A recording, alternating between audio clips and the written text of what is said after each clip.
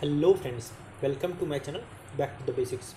दोस्तों, हमारे चैनल का एक ही लक्ष्य, एक ही टारगेट है to clear UPSC examination without any fear और दोस्तों, इस डर को दूर भगाने का एकमात्र तरीका है आपके पास कि आप मेहनत करें। अगर आप मेहनत ही नहीं करेंगे तो ऑब्वियस बात है कि आप वेल प्रिपेयर्ड नहीं होंगे और फिर आपको ज़्यादा डर लगेगा। आप जितनी मेहनत करते जाएँगे सिलेबस को अपने कमांड में लेते जाएँगे रिवीजन करते जाएँगे एम सी सॉल्व करेंगे ठीक है, अपने नॉलेज के गैप को फिल करेंगे मॉक टेस्ट लगाएँगे।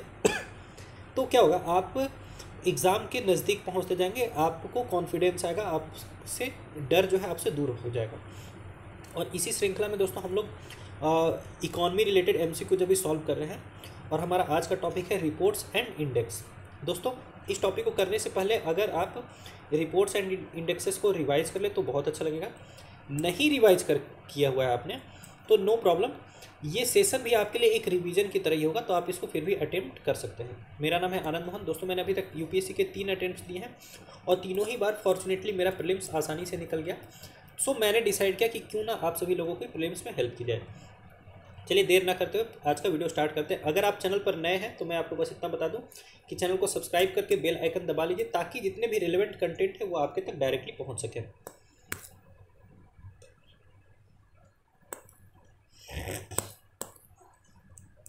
आइए दोस्तों फ़र्स्ट क्वेश्चन देखते हैं। With reference to India energy outlook consider the following statements तो इंडिया एनर्जी आउटलुक जो है it is release by United Nation sustainable development solutions network ठीक है?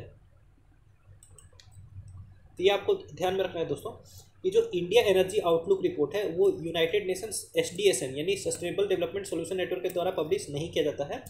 इसको पब्लिश करती है International Energy Agency International Energy Agency India energy outlook is publish by International Energy Agency ठीक है तो फ़र्स्ट इज़ रॉन्ग दूसरा देखिए India share in the growth in renewable energy is the second high second largest in the world after China तो ये बात सच है कि चाइना जो है, वो आपका रिन्यूएबल सेक्टर में सबसे तेज़ी से ग्रो कर रहा है और उसके बाद सबसे तेज़ी से ग्रो करने वाला कंट्री जो है, वो इंडिया है। तो सेकेंड स्टेटमेंट आपका बिल्कुल करेक्ट है। तो वन का राइट आंसर क्या हो जाएगा? Option number B two only ये जो आज का सेशन है दोस्तों, ये थोड़ा फैक्चुअल टाइप का है। तो आपको मुझे ध्यान से इसलिए सुनना है ताकि आपकी रिविजन हो सके। और नहीं पढ़ा हुआ है तो कम से कम आपके ध्यान में बहुत सारी चीज़ें आ जाए। और एक आधा बार देखेंगे तो बहुत सारी चीज़ें आपको याद भी हो जाएगी। SEBI has recently notified disclosure norms on sustainable related reporting for companies through the business reform and sustainability report which of the following statement is incorrect तो बी आर एस आर जो है business reform and sustainability reporting इसके पहले से भी mandate करता था companies को कि बिज़नेस रिस्पॉन्सिबिलिटी रिपोर्टिंग करने के लिए, ठीक है? तो बिज़नेस रिस्पॉन्सिबिलिटी रिपोर्टिंग के जगह पर अब आ गया है business reform and sustainability reporting यानी अब जो है पैरामीटर्स को इन्वायरमेंटल सोशल और गवर्नेंस तीन नॉर्म से देखा जा रहा है। ठीक है?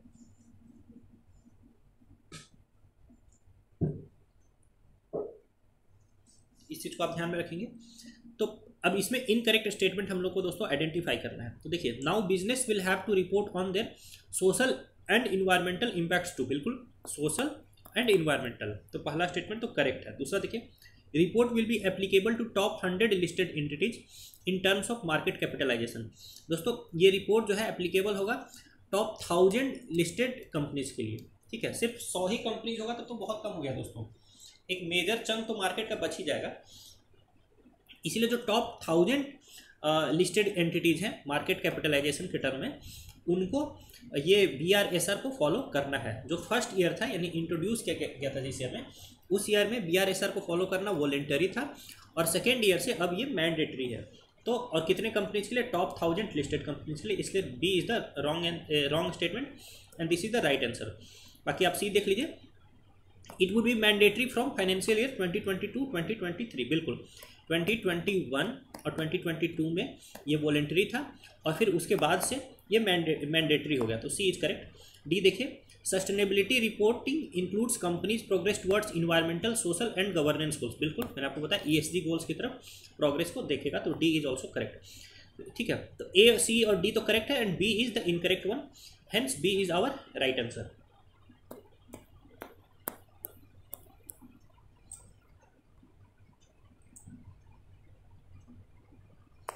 आई दोस्तों बहुत ही स्ट्रेट फॉरवर्ड क्वेश्चन है। The energy transition index is release by तो द एनर्जी ट्रांजिशन इंडेक्स जो है दोस्तों, उसको रिलीज़ करता है वर्ल्ड इकोनॉमिक फोरम फोरम आप मुझे बताइए कि वर्ल्ड इकोनॉमिक फोरम का जो एनुअल समिट होता है, वो कहाँ पर होता है? किस लोकेशन पर होता है? ठीक है, अभी हाल फ़िलहाल बहुत न्यूज़ में था। ठीक है तो थ्री का B is the right answer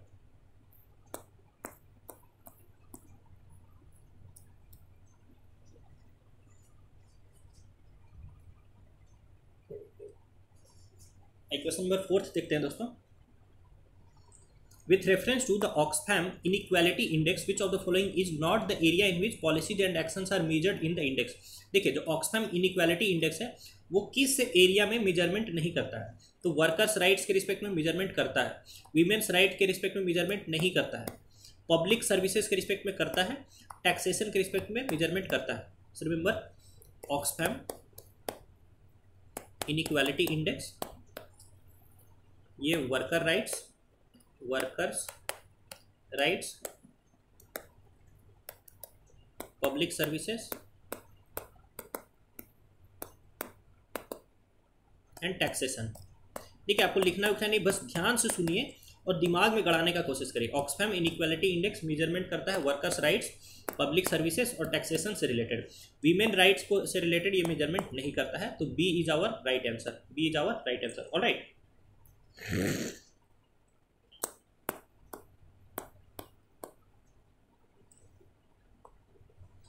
दोस्तों क्वेश्चन फिफ्थ देखते हैं।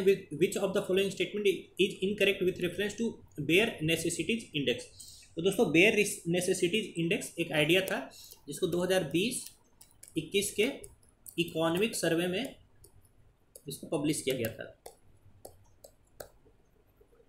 ठीक है? ये एक तरीके से ये निकालने का कोशिश किया था कि बेयर नेसेसिटी जो एकदम मूलभूत जो आवश्यकता है वो उसके रिस्पेक्ट में अलग अलग स्टेट वगैरह का क्या परफॉर्मेंस है, ठीक है? तो इसके रिस्पेक्ट में दोस्तों इनकरेक्ट स्टेटमेंट हम लोग को आइडेंटिफाई करना है। तो देखिए this index is meant to assess equity in economic development among states and regions in India बिल्कुल। तो ये जो है इक्विटी इकोनॉमिक डेवलपमेंट में इक्विटी यानी कि, कितना समानता है अलग अलग स्टेट्स में और अलग अलग रीजन्स में इसको ये एसेस करने का कोशिश किया था तो ये करेक्ट है। दूसरा देखिए the index is developed with data collected by NSO national statistical office in the year 2018 and 19 तो दोस्तों ये जो इंडेक्स बनाया गया है ये 2012 और 2018 के डेटा को यूज़ करके बनाया गया है। यानी कंपैरिजन जो ड्रॉ किया गया है ना, वो 2012 और 2018 के डेटा के बीच में किया गया है, ना कि 2018 और 19 के डेटा के बीच में। तो बी आपका इनकरेक्ट है। फिर सी देखिए, the index has a range of 0 to 1 where 1 represents best access to basic necessities and zero यानी worst access to basic necessities तो बिल्कुल, सी बिल्कुल आपका करेक्ट है दोस्तों।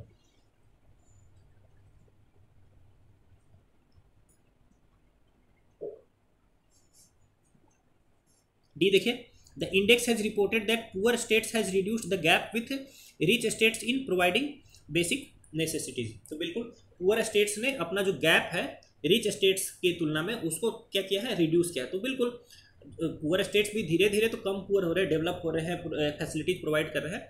तो जो गैप है, उसको वो लोग भी फिल करने का प्रयास कर रहे हैं और उसमें सक्सेस भी हो रहा है। तो ए सी डी तीनों करेक्ट स्टेटमेंट है बट बी जो है वो आपका इनकरेक्ट स्टेटमेंट है। याद रखना कि बेयर नेसेसिटीज इंडेक्स जो है एनएसओ के द्वारा 2012 और 2018 के डेटा को यूज़ करके पब्लिश किया गया था by the economic survey by the economic survey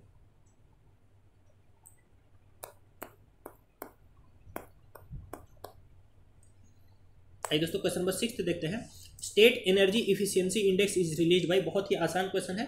State energy efficiency index is release by bureau of energy efficiency ठीक है? ब्यूरो ऑफ़ एनर्जी इफिशियंसी आपको पता होना चाहिए कि ये एक स्टेटूटरी बॉडी है। इसका काम है इंडिया में एनर्जी इफिशियंसी को बढ़ाना और ये काम करती है आपके मिनिस्ट्री ऑफ़ पावर के अंतर्गत। मिनिस्ट्री ऑफ़ पावर के अंतर्गत। इसका फॉर्मेशन हुआ है दोस्तों और एनर्जी कंजर्वेशन एक्ट 2001 के तहत। एनर्जी कंजर्वेशन एक्ट 2001 के तहत ठीक है? बस आप ध्यान से सुनिए, अगर फोकस से आप सुनते तो आपको बेनिफिट हो रहा तो सिक्स का B is the right answer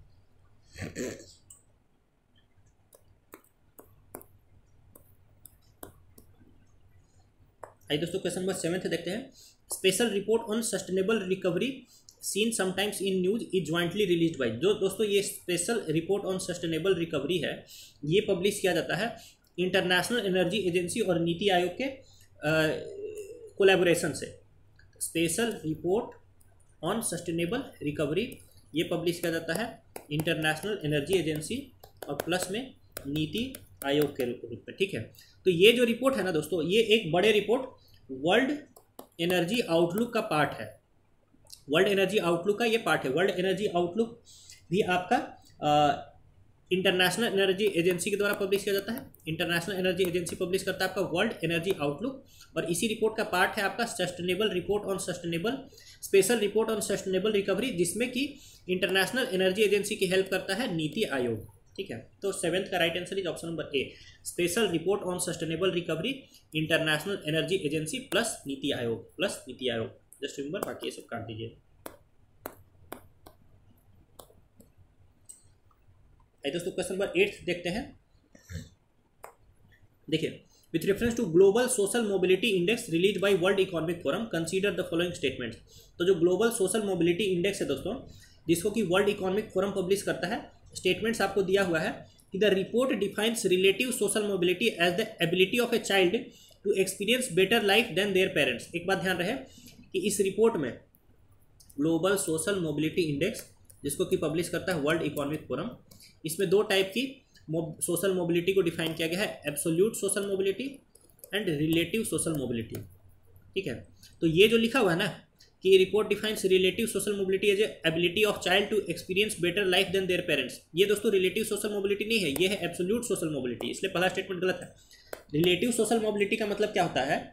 relative social mobility का मतलब है कि अपने एक इन्वायरमेंट में या एक सोशियो इकोनॉमिक बैकग्राउंड में इंडिविजुअल का आउटकम कैसा होगा? मतलब लाइफ का आउटकम कैसा होगा? यानी दो, एक socio economic outcome socio economic environment one ले लेते हैं और दूसरा सोशियो इकोनॉमिक इन्वायरमेंट टू ले लेते हैं। ठीक है? तो सोशियो इकोनॉमिक इन्वायरमेंट वन में इंडिविजुअल का ग्रोथ कैसा होगा और सोशियो इकोनॉमिक इन्वायरमेंट टू में इंडिविजुअल का ग्रोथ कैसा होगा? इन दोनों के बीच कंपेरिजन को बोला जाएगा रिलेटिव सोशल मोबिलिटी मेरी बात समझ रहे हैं? तो ये है, पहला आपका स्टेटमेंट गलत है। दूसरा देख लीजिए। कि among BRICS grouping China is most socially mobile followed by India ये गलत है। ब्रिक्स ग्रुपिंग में सबसे ज़्यादा मोबाइल जो सोशली मोबाइल कंट्री है, वो है रसिया। रसिया, फिर आपका चाइना, फिर आपका ब्राज़ील, फिर है इंडिया, फिर है साउथ अफ्रीका, फिर है साउथ अफ्रीका। खैर, सबसे ज़्यादा है रसिया। सबसे ज़्यादा socially mobile country is Russia. तो टू इज़ ऑल्सो रॉन्ग तो एट्थ का राइट आंसर क्या हो जाएगा दोस्तों? Option number D neither one not two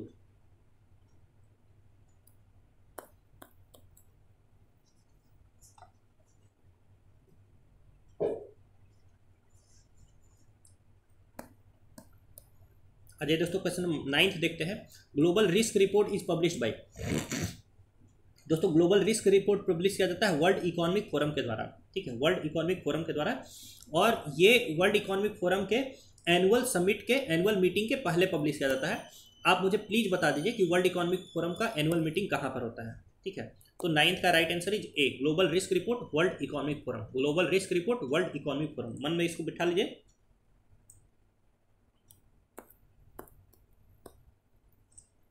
question tenth देखते हैं। The women business and law index is release by देखिए the women business and law index is release by दोस्तों World Bank is release by World Bank the women business and law index is release by World Bank ठीक है women business and law index is release by World Bank World Bank releases the women business and law index ठीक है, इसको याद कर लीजिए।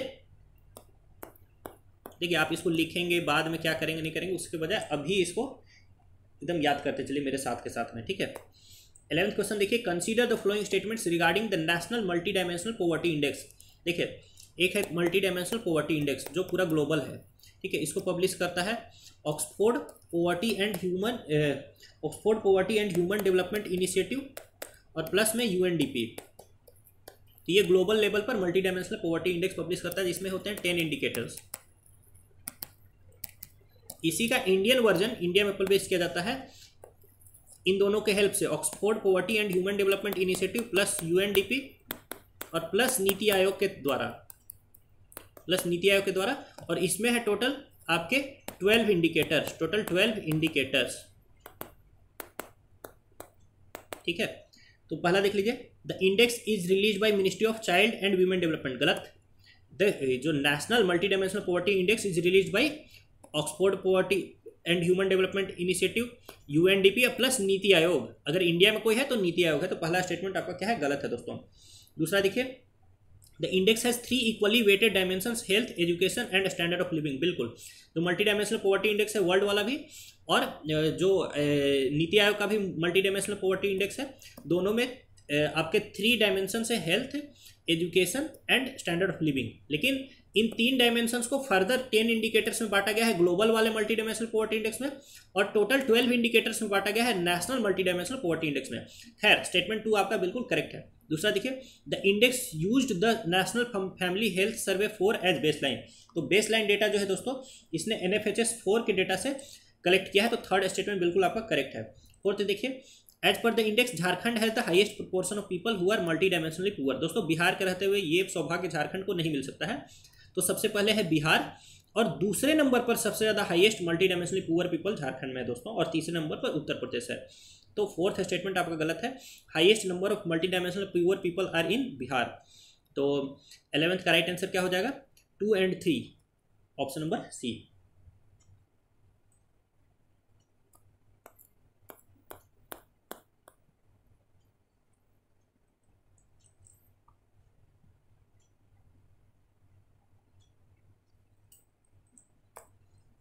आइए दोस्तों क्वेश्चन ट्वेल्थ देखते हैं।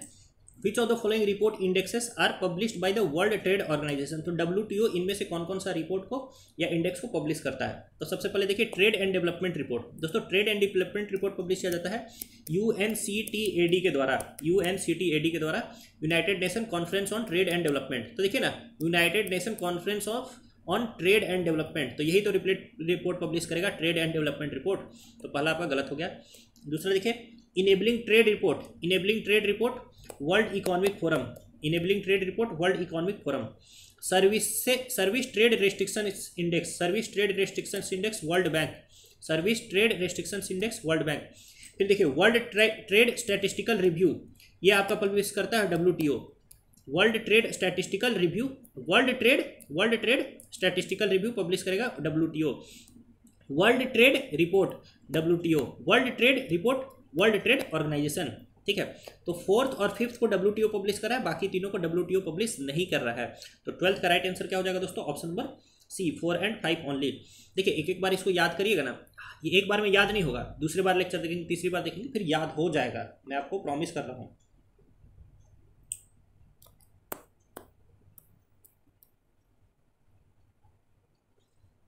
आई क्वेश्चन नंबर थर्टींथ देखते हैं।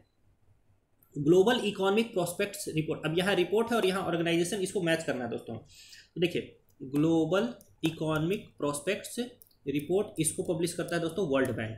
Global economic prospect report को पब्लिश करता है वर्ल्ड बैंक।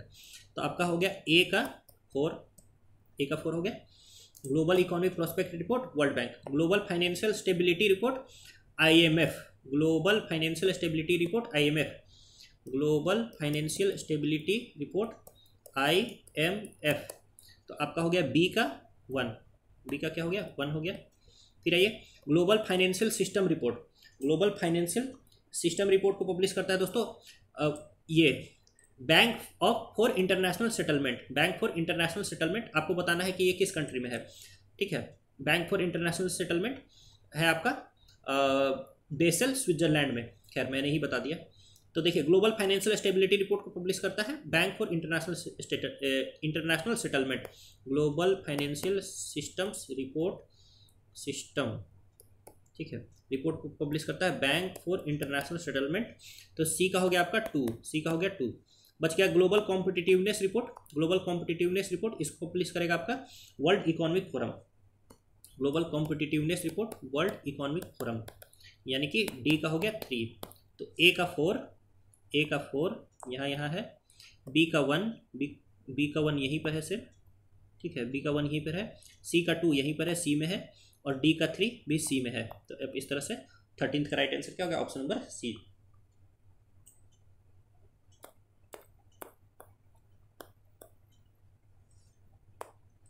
दोस्तों क्वेश्चन नंबर फोर्टीन देख लेते हैं। Which among the following is are not the publication of the world economic forum ठीक है? इनमें से वर्ल्ड इकोनॉमिक फोरम का कौन सा पब्लिकेशन नहीं है?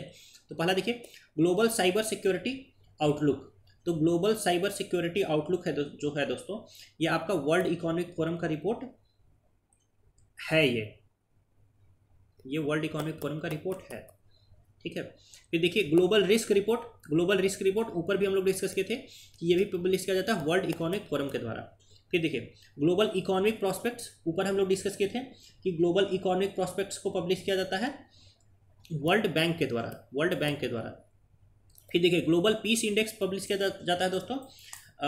Institute of economics and peace institute of economics and peace जो कि कहाँ पर है? ऑस्ट्रेलिया में है। Institute of economics and peace जो कि ऑस्ट्रेलिया में है, इसके द्वारा पब्लिश किया जाता है ग्लोबल पीस इंडेक्स तो देखिए वर्ल्ड इकोनॉमिक फोरम के द्वारा किसको पब्लिश किया जा रहा है? ए को वन को किया जा रहा है टू को किया जा रहा है थ्री को नहीं किया जा रहा है फोर को नहीं किया जा रहा है। और यहाँ क्वेश्चन क्या है? Which among the following is are not publication of world economic forum तो राइट आंसर क्या होगा आपका option number D three and four एक बार इसको फिर से देख लीजिए। Global cyber security outlook world economic forum global risk report world economic forum global economic prospects world bank global peace index institute of economics and peace Australia ठीक है? तो फोर्टीन का D is the right answer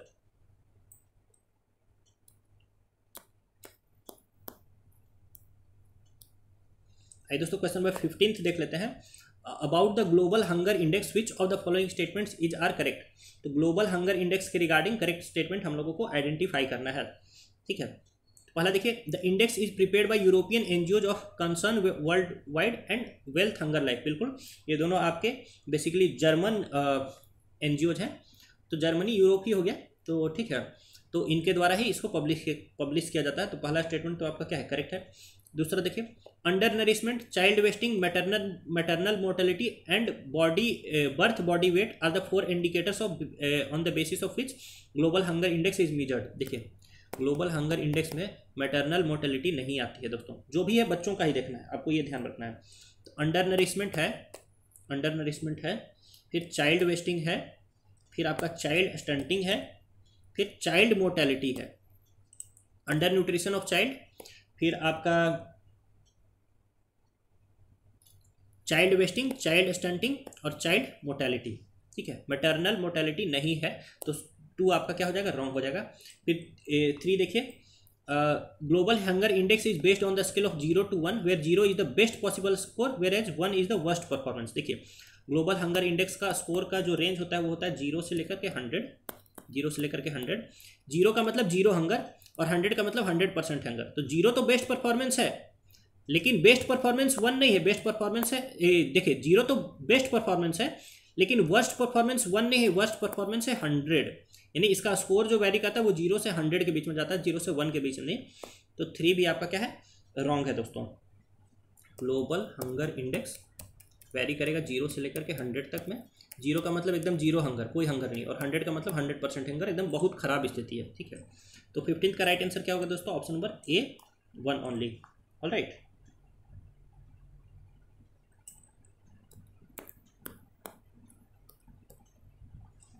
आइए दोस्तों question number sixteen देख लेते हैं। Consider the following statements regarding the India patents report India patents report के रिगार्डिंग स्टेटमेंट्स दिया हुआ दोस्तों। इंडिया पेटेंट्स रिपोर्ट पब्लिश किया जाता है नेस्कॉम के द्वारा। नेस्कॉम है आपका national association of software and services companies national national association of software and services companies ठीक है? National association of software and services companies इसके द्वारा इसको पब्लिश किया जाता है। तो पहला स्टेटमेंट देखिए। The report was publish by the department of industrial policy and promotion ministry of commerce तो ये गलत है। India patents report is publish by NASSCOM तो पहला स्टेटमेंट इज़ रॉन्ग दूसरा देखिए। Indian patents are govern by the Indian Indian patent act of 1970 बिल्कुल सही बात है। इसी एक्ट के द्वारा इसको गवर्न किया जाता है। ठीक है। तीसरा देखिए। As per the report artificial intelligence continues to lead in terms of total patents filed under various emerging technology domains बिल्कुल इमर्जिंग टेक्नोलॉजी डोमेन्स में जब सबसे हाईएस्ट जो पेटेंट्स फ़ाइल किया जा रहा है, वो दोस्तों आर्टिफिशियल इंटेलिजेंस के अंतर्गत फ़ाइल किया जा रहा है।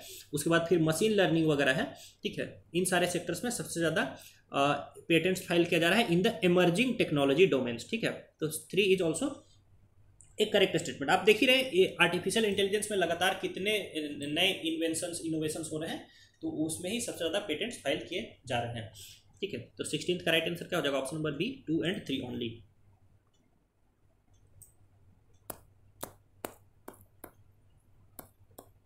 आइए दोस्तों क्वेश्चन सेवनटीन देखते हैं। Which organization release the net zero industry tracker report net zero industry tracker report.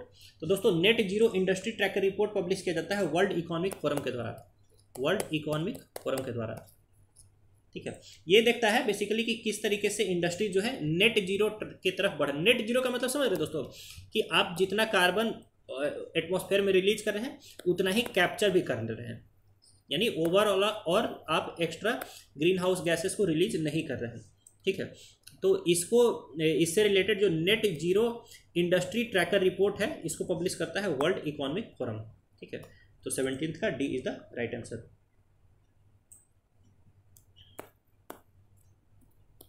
आइए एटीन क्वेश्चन देखिए। Which of the following indexes are prepared by NITI Aayog? तो नीति आयोग इनमें से कौन कौन सा इंडेक्सेस को पब्लिश करता है? तो पहला देख लीजिए कंपोजिट वाटर मैनेजमेंट इंडेक्स बिल्कुल इसको नीति आयोग पब्लिश करता है। फाइनेंशियल इंक्लूजन इंडेक्स दोस्तों फाइनेंशियल इंक्लूजन इंडेक्स को बेसिकली पब्लिश किया जाता है आरबीआई के द्वारा। फिर देखिए एक्सपोर्ट प्रिपेयर्डनेस इंडेक्स इसको नीति आयोग पब्लिश करता है बिल्कुल करेक्ट है ये। फिर देखिए बेयर नेसेसिटीज इंडेक्स दो, दोस्तों बेयर नेसेसिटीज इंडेक्स ऊपर मैंने बताया था इसको किसने पब्लिश किया था? इसको इकोनॉमिक सर्वे ने, ने लॉन्च किया था। इकोनॉमिक सर्वे ने लॉन्च किया था।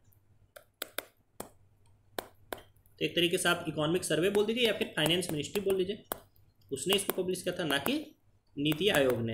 नीति आयोग का इससे कोई लेना देना नहीं है, ठीक है? तो फोर्थ आपका इनकरेक्ट हो गया टू इनकरेक्ट हो गया वन और थ्री आपका करेक्ट हो गया। तो एटीन का राइट आंसर क्या हो गया? Option number A one and three only composite water management index NITI Aayog financial inclusion index RBI export preparedness index NITI Aayog bare necessities index economic survey या फिर finance ministry ठीक है?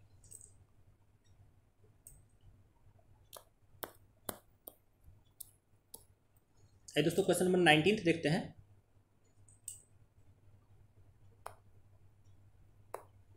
Consider the following statements regarding export preparedness index export preparedness index के regarding statements आपसे पूछा जा रहा है। ऊपर ही मैं बता चुका हूँ कि इसको पब्लिश कौन करती है? इसको नीति आयोग पब्लिश करती है। एक्सपोर्ट प्रीपेयर्डनेस इंडेक्स को नीति आयोग पब्लिश करती है। और ये स्टेट्स और यूटीज के बीच में कंपेरिजन बताता है कि कौन स्टेट कितना बेटर परफॉर्म कर सकता है विथ रिस्पेक्ट टू एक्सपोर्ट तो पहला देखिए export preparedness index is prepare by the ministry of commerce and industry in partnership with the institute of competitiveness तो टोटली गलत है। Export in preparedness index is publish by NITI Aayog. तो पहला statement तो गलत है। दूसरा देखिए export preparedness index is a comprehensive analysis of India's export achievements of states and union territories and identify challenges and opportunities बिल्कुल इसका यही काम है कि स्टेट्स और यूटीज को आ, के बीच में कंपटीशन को प्रमोट करना देखना कि कौन स्टेट बेटर परफॉर्म कर सकती है कौन स्टेट में क्या क्या चैलेंजेज फेस कर रहे हैं विथ रिस्पेक्ट टू एक्सपोर्ट और किसी स्टेट्स और यूटी में क्या क्या अपॉर्चुनिटीज़ हो सकता है with respect to exports all right तो इस चीज़ को आप ध्यान रखें तो टू बिल्कुल करेक्ट है थ्री देखिए states with higher exports also experience high gross state domestic product ये तो वैसे कॉमन सेंस की भी बात है और ऐसा होता भी है। जैसे कि गुजरात जो है, बहुत ज़्यादा हाई एक्सपोर्ट करता है, ठीक है? और इसका जीएसडीपी भी जो है लगभग थर्ड फोर्थ में रहता है। मतलब ओवरऑल इंडिया में थर्ड या फोर्थ रैंक पर ये रहता है, ठीक है? G G S D P के टर्म्स में। तो यस जो स्टेट ज़्यादा एक्सपोर्ट करेगा, उसका ओवरऑल जीडीपी में कंट्रीब्यूशन भी अधिक होगा, ठीक है? तो नाइनटीन का राइट आंसर क्या हो गया दोस्तों? Option number B two and three only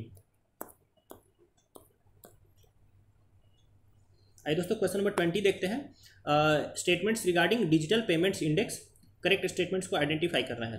तो digital payment index is publish by ministry of finance ठीक है तो पहले ही स्टेटमेंट गलत है क्योंकि digital payment index is publish by R इसका बेस ईयर है 2018 ठीक है, और ये सेमाई एनुअल बेसिस पर पब्लिश किया जाता है, यानी कि एक साल में दो बार। एक साल में दो बार। ठीक है, एक साल में दो बार इसको पब्लिश किया जाता है।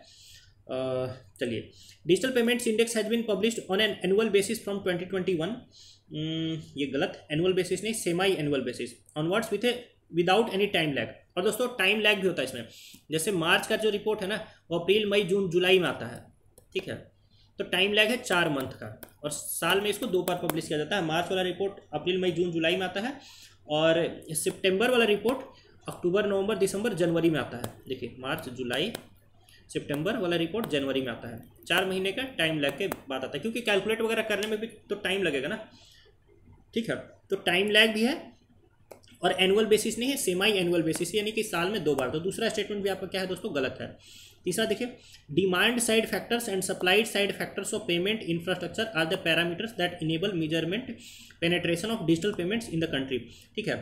तो आप समझ लीजिए, जैसे डिजिटल पेमेंट इंडेक्स है पब्लिश किया जाएगा आरबीआई के द्वारा सेमाई एनुअल बेसिस पर with four month time lag एकदम दिमाग में बिठाते जाइए। फिर देखिए, इसका क्या क्या पैरामीटर्स है, उसको समझ लीजिए। पैरामीटर्स है दोस्तों, इसका पेमेंट इनेबलर्स टोटल पाँच पैरामीटर्स है पेमेंट इनेबलर्स है एक। दूसरा है आपका पेमेंट इंफ्रास्ट्रक्चर इसमें है कि डिमांड साइड सप्लाई साइड यानी ये दो फैक्टर के payment enabler payment infrastructure demand side payment infrastructure supply side और इसके बाद है दोस्तों आपका पेमेंट परफॉर्मेंस पेमेंट परफॉर्मेंस और फिर है आपका consumer centricity consumer centricity payment enabler payment infrastructure demand side payment infrastructure supply side payment performance और कंज्यूमर सेंट्रिसिटी ये पाँच फैक्टर्स के आधार पर इसको मेजर किया जाता है। तो यस इसमें दो चीज़ है। डिमांड साइड फैक्टर्स है है डिमांड साइड फैक्टर्स है और सप्लाई साइड फैक्टर्स है, बिल्कुल है सप्लाई साइड फैक्टर्स है। तो ये इसमें काउंट किया जाता है। तो थर्ड आपका करेक्ट है, वो फ़र्स्ट और सेकंड आपका इनकरेक्ट है। राइट आंसर हो जाएगा ट्वेंटी का option number B three only